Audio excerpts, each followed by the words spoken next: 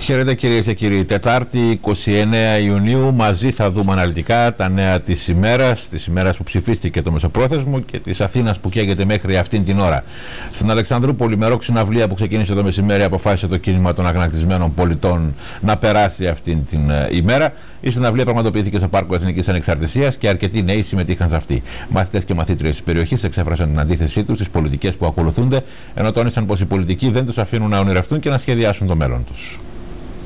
Την ημέρα ψήφισης του μεσοπρόθεσμου προγράμματος, οι αγανακτισμένοι της Αλεξανδρούπολης αποφάσισαν να το περάσουν γιορτάζοντας. Συγκεκριμένα διοργάνωσαν συναυλία και υπό του ήχου της ροκ μουσικής έδειξαν την αντίθεσή τους στην ψήφιση του μεσοπρόθεσμου. Σήμερα είναι ιδιαίτερη μέρα, γι' αυτό και επιλέξαμε αυτή τη μορφή κινητοποίησης. Σήμερα ψηφίζεται το μεσοπρόθεσμο στις 2 η ώρα το μεσημέρι, γι' αυτό και εμείς στις 2 η ώρα το μεσημέρι θα κάνουμε γλέντι.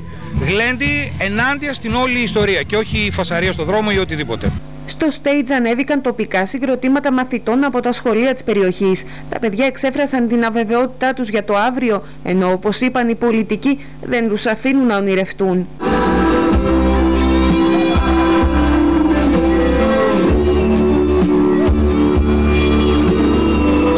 Ήρθαμε να παίξουμε και εμείς σήμερα στο live που διοργανώνουν οι αγανακτισμένοι πολίτες διότι νιώθουμε και εμείς ε, την ανάγκη, ως επίσης αγανακτισμένοι πολίτες να έρθουμε να παίξουμε γιατί είμαστε, δεν είμαστε σίγουροι βασικά για το μέλλον μας καθόλου και βάσει αυτό που διοργανώνουν θέλουμε να εκφραστούμε και εμείς ε, διότι λόγω αυτών των βλακιών που έκαναν οι πολιτικοί και το οτιδήποτε εμείς αύριο δεν θα έχουμε δουλειά. Δεν υπάρχουν άνθρωποι ε, που οργανώνουν κατάλληλα.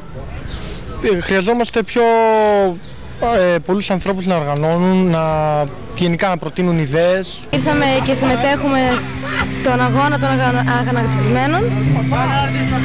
Ανησυχώ και εγώ για το μέλλον, το μέλλον μου γιατί δεν, δεν υπάρχει σήμερα μέρα επαγγελματική αποκατάσταση. Το κίνημα των αγανακτισμένων πολιτών θα συνεχίσει τις δράσεις του και τις επόμενες ημέρες. Ελπίζουμε ότι όλη αυτή η κίνηση που κάνουμε θα έχει απήχηση στην πόλη μας. Θα καταλάβουν οι πολίτες ότι πρέπει να είμαστε έξω στον δρόμο και όχι πια στο σπίτι και έτσι όλοι μαζί να μπορέσουμε να πετύχουμε πράγματα πρώτα για την πόλη μας και μετά για την Ελλάδα συνολικά.